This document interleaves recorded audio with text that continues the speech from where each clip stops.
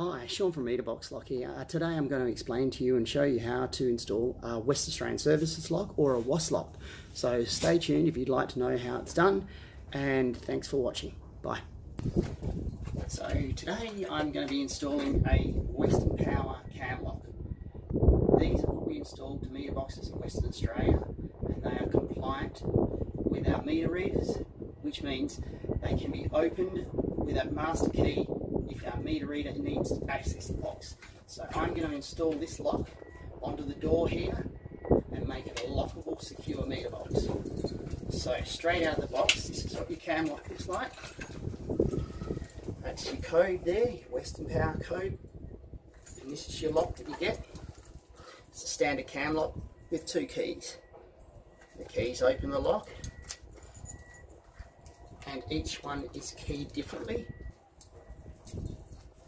and this is the way we secure our meter boxes in Western Australia. So this is going to be fitted just in the right position to hold in place and keep it secure to prevent anybody opening it and switching your power off before potentially breaking into your house.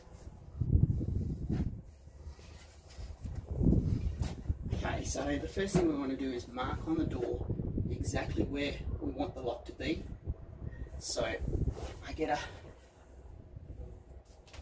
a give it a bit of a look straight on and okay, so that's where your lock's going to go. We're going to put a window in, in here as well on this door. So I'm going to put the window just there. So now I'm going to remove the door and commence installing right there.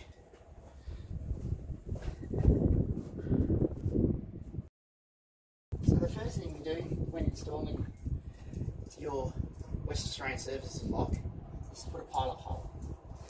So a 1 8 pilot hole with a 1 8 drill bit through the door and then use your 20 mil hole saw to make the correct size hole. So pilot hole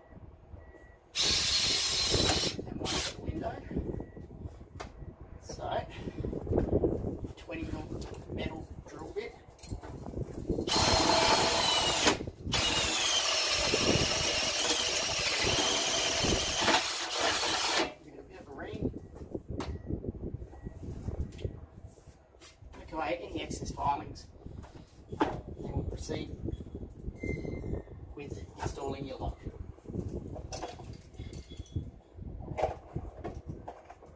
I just use a couple of spanners.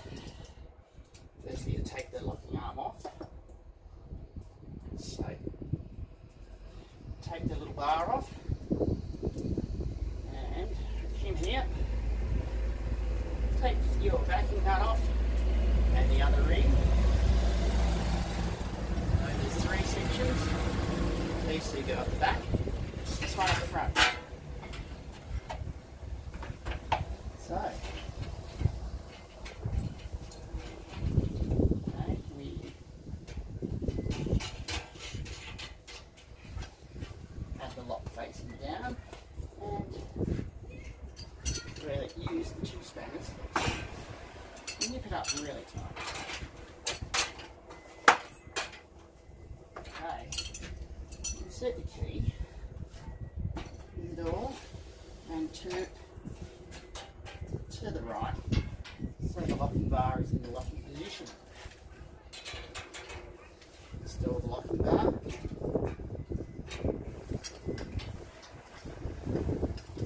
And install your backing nut.